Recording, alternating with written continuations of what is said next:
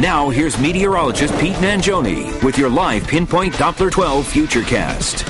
I was just asking Pete off the air if uh, it's going to be raining in my town anytime soon because I, don't. I have a lot of um, potted mums. Right. I don't want to have to run around watering them all day today. So now you're asking me on the air. Yeah. And uh, you may still have to water. I mean, All you're right. not going to get a whole lot of rain from this, but some spots could get a few downpours. So you may be okay, Elizabeth. As we take a look at live pinpoint Doppler 12, you can see the specks of red and yellow indicating some slightly heavier rain moving through. You can see this heavy batch right around Interstate 95 up towards West Greenwich, and another batch of heavy rain up in the northwestern part of the state, just to the uh, south of Pascoag. All this stuff is moving off to the northeast, and pretty much everybody gets at least a little bit of rain over the next couple of hours. Here's a look from our live camera at Roger Williams Zoo. You can see no rain uh, falling just yet, but it's coming. Skies are gray here. And as we take a look at our advisories and warnings, we do have a frost advisory for the northwestern part of Rhode Island and Bristol County, Massachusetts. This does not include the city of Providence. However, still a pretty chilly night expected for the capital city. Temperatures right now, not too bad. 60 at Greenwich Bay Manor in East Greenwich, 59 at Bank Newport, 57 at South Bay Manor in South Kingstown, and right now we're in the upper 50s in East Providence at East Bay Manor. Temperatures may be uh, lifting up another few degrees over the next couple hours, but the rain will tend to flatten the temperatures out. All right, speaking of rain, the green represents the strip of rain that's pushing through right now. Notice a few more showers off to our west. These will push through as we go into the later part of the afternoon, but by that point, the precipitation becomes more spotty. So for the rest of the day, 62 with the chance of some showers around 1 o'clock. Same story around 3, but between about 3 and 5, we start to push away the threat of showers.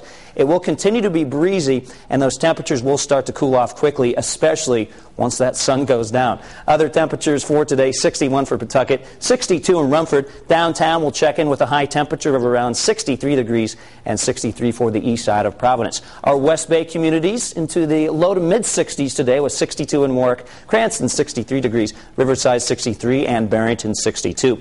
Along the South Shore, low 60s will be the general rule. Wakefield a little bit warmer at 63 degrees, Charlestown 61, and Ashaway 63. Northwestern Rhode Island a little cooler with temperatures in the low 60s, 60 for Pascoag, 60 in Foster.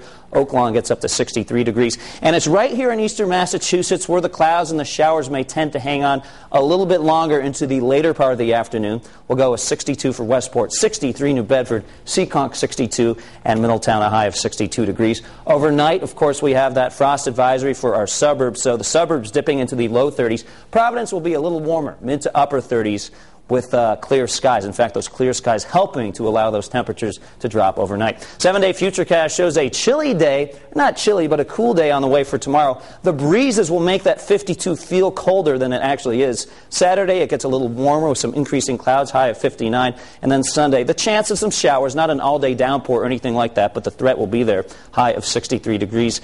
And then Monday, Tuesday, and Wednesday, we're not talking about an all day downpour or anything like that, but the chance of some showers, especially on Tuesday. That's why I have intentionally put the extra raindrops on Tuesday. I'm not sure if you can tell that. 69 year high on Tuesday. However, look at the temperatures though, guys. Upper 60. So on Monday and Tuesday, if we can pick up a little bit of sunshine, it will be one of those days that actually feels warm at times, but a chilly night on the way for tonight. And of course, if you want more updates, you can always watch Cox Digital Cable Channel 125.